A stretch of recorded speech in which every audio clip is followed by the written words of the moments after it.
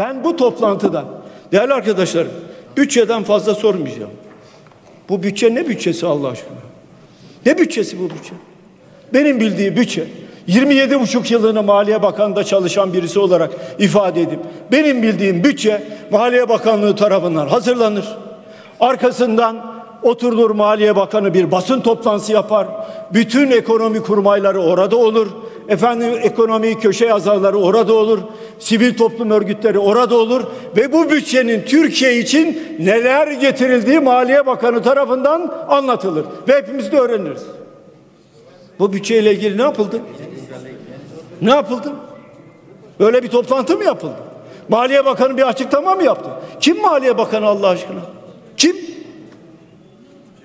Niye açıklama yapmıyor? Neden yapmıyor? Bütçe hangi bütçe arkadaşlar? Hangi bütçe? Bakın değerli arkadaşlar. İşçiye ne getiriyor bu bütçe? Çiftçiye ne getiriyor? Emekliye ne getiriyor? Bu bütçe faiz bütçesidir. Bu bütçe açık ve net söylüyorum haramzadelerin bütçesidir. Haramzadelere hizmet edenlerin bütçesidir. Bakın bir daha söylüyorum. İnanarak söylüyorum, inanarak. Bu bütçe haramzadelere hizmet bütçesidir. Emniyetine davet eder misiniz Sayın Başkanım? Olur. Geleceğim, gazilere de geleceğim. Gazilere de geleceğim. Değerli arkadaşlar. Bakın. Niye tek tek bir hükümet kuruldu? Yani bir kişiye bağlı, bütün yetkiler bir kişide bağlandı. Her şey çok hızlı olacak diye. Öyle değil mi? Her şey çok hızlı olacaktı. Ya orta vadeli program kanuna göre zamanda yayınlandı mı? Yayınlanmadı. Soruyor musunuz niye yayınlanmadı diye? Kim engel oldu? Orta vadeli mali plan zamanda yayınlandı mı? Kanuna göre zamanda yayınlanmadı. Sordunuz mu niye zamanda yayınlanmadı? Kim engel oldu? Hangi güç engel oldu? Tek başınasınız. Başka bir şey yok. Ya yasanın gereğini bile yerine getiremiyorlar. Bunlar sizin çıkardığınız yasalara bunlar uymuyorlar. Evet siz görüyorsunuz. Veriyorum. Bunlar da biliyorlar. Uymuyorlar. Ama siz yine elinizi kaldırıyorsunuz. Kendi vicdanınıza bu olayı sorgulamak zorundasınız. Tarihin size yüklediği bir sorun var. Bir görev var. Kendi vicdanınızda. Ya arkadaş kanun çıkardık ya. Kanuna uyun. Kanuna uymam diyor. Niçin? Benim diyor mecliste kurşun askerlerim var. Zaten ne dersem onlar ellerini kaldırırlar. Öyle mi? Aynen öyle. İnşallah öyle değildir. İnşallah öyle değildir. Bakınız. Yılbaşından bu yana dolar karşısında Türk lirası yüzde 23.6, avro karşısında Türk lirası yüzde 29.7 oranında değer kaybetti. Kim bu hale getirdi? Kim getirdi bu hale? Şimdi ülkenin milli geliri 736 milyar dolar. İki yılda eriyen milli gelir 156 milyar dolar. 156 milyar doları kim aldı? Kim götürdü? Milletin cebinden kim çekip kime verdi? Hiç merak ettiniz mi? Buraya gelip Alice Harikalar Diyarında masalını dinlediniz. Arada bir de alkışladınız. Heyecan yoktu onu da ben de görüyordum. 18 yılda bu hale geldiğinde bu ülke ya oy verdi bu millet. Milletin burnundan getirdiniz.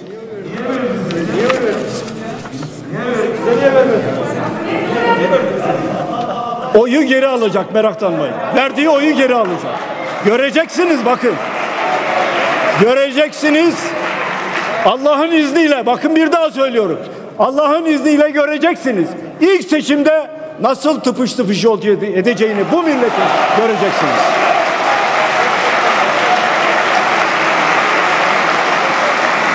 Kime çalışıyor? Kime çalışıyor? Kime çalışıyor? Arkadaşlar lütfen arkadaşlar Dinleyin arkadaşlar. lütfen böyle bir usulümüz yok. azaldı. 18 yılda 18 yılda arkadaşlar lütfen 18 yılda 18 yılda bütçeden yapılan faiz ödemesi ne kadar? 492 milyar dolar. 18 yılda bütçeden yapılan faiz ödemesi 492 milyar dolar. Her gün kaç milyar milyon dolar ödüyoruz? Her gün 75 milyon 573 bin 63 dolar faiz ödüyor Türkiye. Her saatte 3 milyon 148 bin 878 lira faiz ödüyor. Bana söyler misiniz? Ben bu bütçe haramzadelere hizmet eden bütçedir derken işte bunu kastediyorum. Bunu kastediyorum. Kamu özel işbirliği projeleri. Ya arkadaşlar sizin saygıdeğer genel başkanınız çıkıp milletin önüne bir değil, yüz değil, binlerce kez ey Kılıçdaroğlu buradan, buradan milletin cebinden beş kuruş para çıkmayacak demedi mi? Dedi. E şimdi bakın bütçeye. Milletin cebinden milyarlar çıkıyor. Bana söyler misiniz? Bir genel başkan konuşurken veriye dayanması lazım. Bilgiye dayanması lazım. Neden böyle bir laf etti? Niye dayanmıyorsunuz? Ben dayanıyorum. Her söylediğim her cümle doğrudur bakın. Söylediğim her cümle doğrudur. Ama sorun şurada. Sorun şurada. Sorun şurada. Aklını bir dakika arkadaşlar bir dakika bir dakika Özgür Bey bir dakika aklını kiraya verenler gerçekleri göremezler bir daha söylüyorum aklını kiraya verenler gerçekleri göremezler ama buradan ama buradan bu kürsüden bütün vatandaşlarıma sesleniyorum Allah'ın izniyle iktidar olacağız. Allah'ın izniyle göreceksiniz. Bu soygun düzenine son vereceğiz. Beşli çetenin bizim torunlarımızı dahi sömürecek olan bütün bu yatırımları kamulaştıracağız ve alacağız.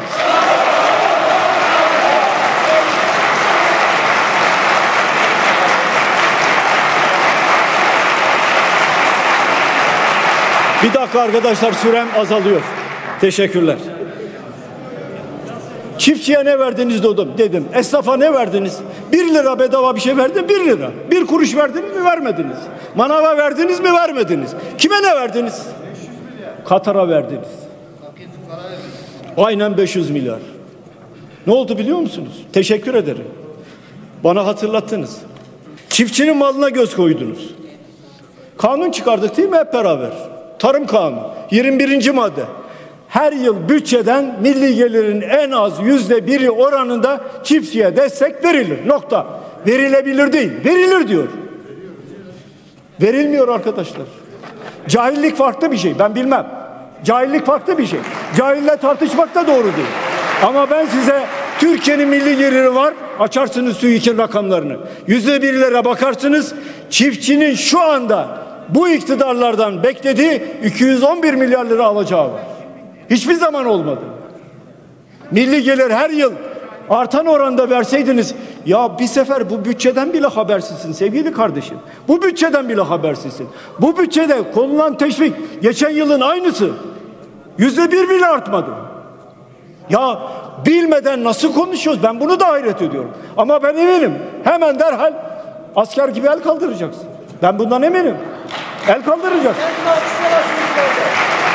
Çiftçinin mallarına, çiftçinin mallarına, traktörüne, ineklerine haciz uyguluyorsunuz. Çiftçi bu durumda, esnaf bu durumda. Çöplerden kağıt toplayan vatandaş bu durumda, perişan vaziyette. Pazar artıklarından geçilenler var. Ama sizden bazıları, özür dilerim, sizden derken sizi kastetmiyorum. Bu tarafı kastediyorum. Onların bazıları ve onların bazı adamları bir maaş yetmiyor, iki maaş yetmiyor, üç maaş yetmiyor, dört maaş yetmiyor, beş maaş alıyor. Ya bu kadar işsizlik varken bir kişinin dört maaş, beş maaş, üstelik büyük paralar almaları sizin vicdanınız kabul ediyor mu ya? Ahlak kabul eder mi bunu ya? Vicdan kabul eder mi bunu ya? Kim kabul eder bunu ya? Daha garip bir şey anlatayım. Daha garip bir şey anlatayım. Beşiktaş'taki terör saldırısında 40'ı polis, 47 vatandaşımız şehit oldu. Orada da bağış kampanyası açıldı. 52 milyon lira para toplandı. Şehit olan, çocuğu şehit olan birisine kaç aylık bağlandı bilen var mı? Bilmiyorsunuz. Niye bilmiyorsunuz? Sorun. Niye sormuyorsunuz? Hanımefendi hatırlatayım. 121 lira 96 kuruş. Arzu ederseniz banka makbuzunu size veririm. Şimdi siz vicdani olarak terörde şehit olan bir polisin babasına 121 lira 96 kuruş aylık bağlanmasını doğru diyorsanız yerinizde kalın. Doğru demiyorsanız görevinizden ayrılın.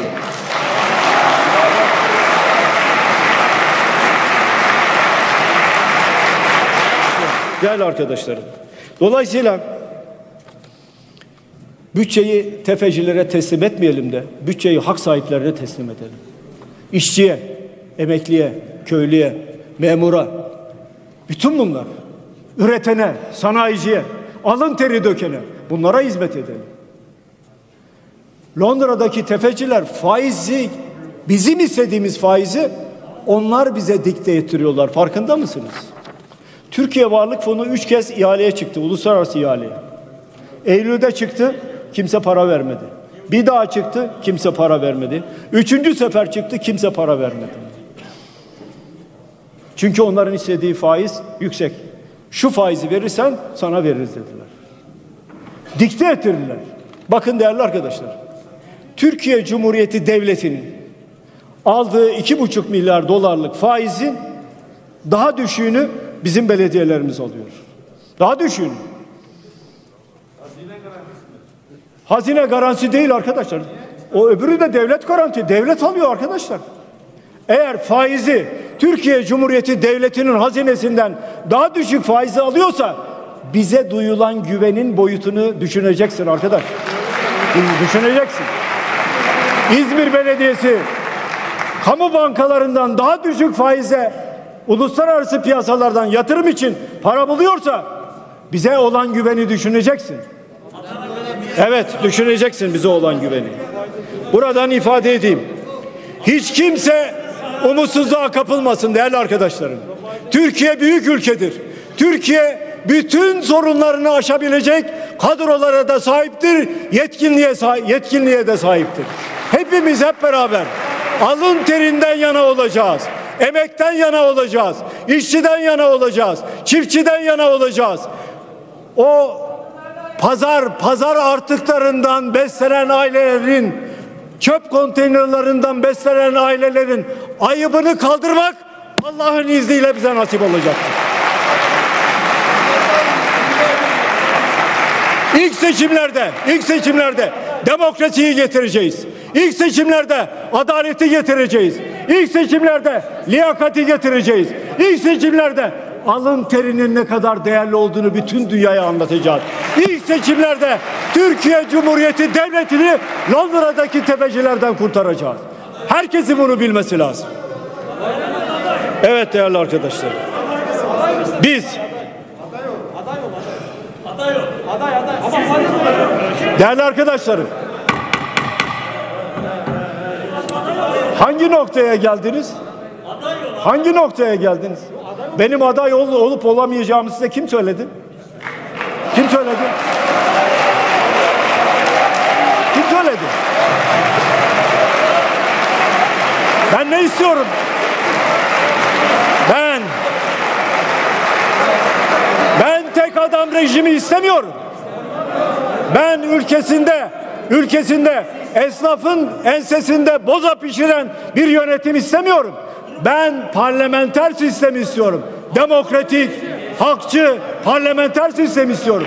Ben her kuruşun hesabını veren bir siyaset anlayışı istiyorum.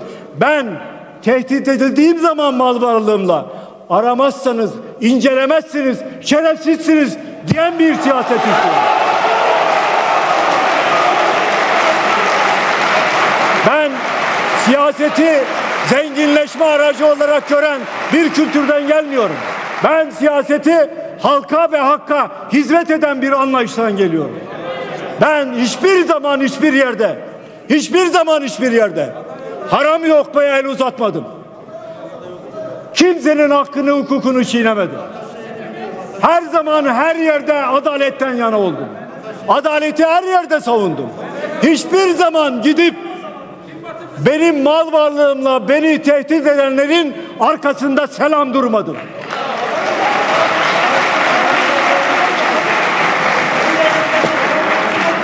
Değerli arkadaşlarım, evet bu gerçekleri bilin. Hayat acı ama bu gerçekleri bilin. Hiç endişeniz olmasın. Arı gibi çalışıyor bütün belediyelerimiz. Arı gibi çalışıyor. Söyledim. Hangi engeli çıkarırlarsa çıkarsınlar asla şikayet etmeyeceksiniz. Asla. Vatandaşlar arasında hiçbir ayrım yapmayacaksınız. Önce sizin ihmal ettiğiniz yoksul mahallelerden başlayacaksınız dedim. Onlara hizmet götüreceksiniz dedim. Engel yok ama halka hizmet sonuna kadar var dedim. Böyle yapıyorlar. Böyle yapıyorlar. Şu Ankara'yı ya Ankara'yı parsel parsel satan diyen siz değil miydiniz? Siz değil miydiniz? Parsel parsel satan adama hesap sordunuz mu? Arkasında duruyorsunuz ya. Ankara'yı parsel parsel satan adamın arkasında duruyorsunuz ya. Nasıl olur ya bu? Nasıl olur bu ya? Hangi ahlak, hangi din, hangi iman ya? Allah aşkına söyler misiniz ya? Değerli arkadaşlarım, daha ayıp var. Ya arkadaşlar, Türkiye Cumhuriyeti Devleti Mil- Sayın Kılıçdaroğlu bir saniye. Buyurun. Türkiye Cumhuriyeti Devleti Milli Kurtuluş Savaşı'nı veren bir devlettir. Ya arkadaşlar hiç konuşmayın. Ne derlerse desinler. Önemli değil. Değil önemli. Türkiye Cumhuriyeti Devleti Milli Kurtuluş Savaşı'nı veren bir devlettir. Türkiye Cumhuriyeti Devleti'ne rüşvet alan kişinin büyükelçi olarak atanması yakışır mı ya? Yakışır mı ya? İki kişi ya. Ya rüşvet aldığı belli. Rüşvet aldı. Çikolata kutularında. Öbürünün de rüşvet belgesini mahkemedeki dosyadan çıkarıp açıkladım ya. Büyükelçi atadınız ya. Bayrağında, arabasında Türk bayrağı taşıyacak bu adam. Benim ağrıma gidiyor ya. Sizin ağrınıza gitmiyor mu ya? Sizin ağrınıza gitmiyor mu ya? Sizin içinizden, onu da söyleyeyim. Sizin içinizden son derece değerli insanlar var bakın. Eleştiriyorum ama son derece değerli insanlar var. Türkiye'yi en iyi temsil edecek insanlar var. Ya bu insanlar varken neden rüşvetçiler büyükelçi olarak atanıyor? Neden? Benim aklım bunu almıyor. Ama sizin bir gerekçeniz varsa e çıkıp bu kürsüden söylersiniz. Şunun için biz rüşvetçileri büyükelçi Şunu açalım ya. saygılar sunuyorum değerli arkadaşlar.